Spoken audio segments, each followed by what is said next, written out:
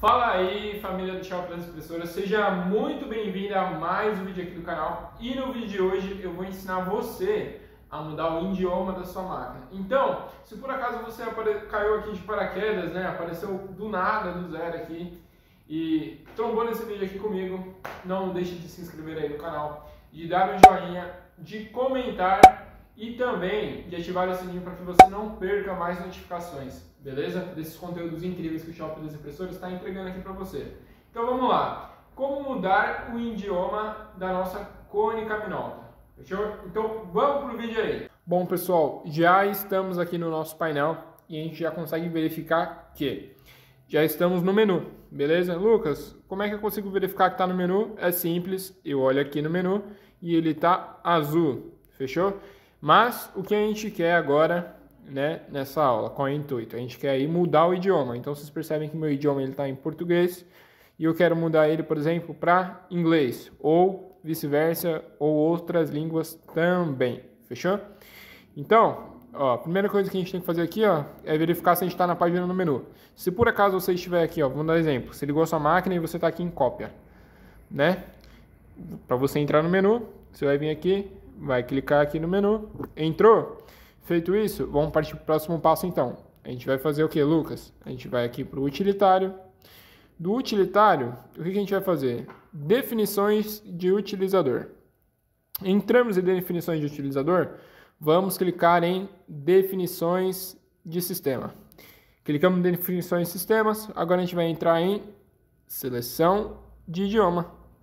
Beleza? Ó, aí esses são os idiomas que eu tenho para colocar na minha máquina, beleza? Inglês, espanhol e por aí vai. Então, vou colocar aqui em inglês, vou dar um OK. Vou dar um close agora, close, close. Tô aqui de novo, né? Entrei aqui no, no modo cópia. Vamos supor aí que a sua máquina ela esteja em inglês, beleza? E agora a gente quer fazer essa mesma mudança. Vamos entrar aqui em menu, utility, User Settings. Aí a gente vai vir aqui, ó, em setting, é, System Settings, Language Selection, e aí selecionar pro português. Beleza? Dá um OK, fechar, fechar, fechar. E aí é só usar a sua máquina normalmente.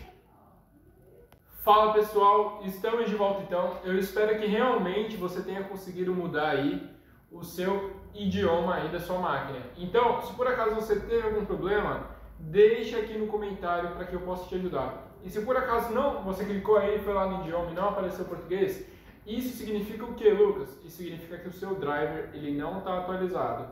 Ou seja, liga aqui para o shopping das impressoras, beleza? Vou estar deixando o número aqui embaixo, que você vai conseguir fazer a atualização no seu equipamento, para que possa deixar ele em português. Então, se você está cansado aí de deixar em inglês ou se você prefere inglês, coloca aqui nos comentários, beleza? Aqui embaixo. Não deixe de seguir as nossas redes sociais no Instagram, né? É, no Instagram vai ficar aí como, como take de gravação também, né? Não deixe de seguir aí as nossas redes sociais, então, né? O Instagram, Facebook, né? Não deixe de se inscrever aqui no canal. E é isso. Eu vejo você no próximo vídeo. Fechou? Valeu!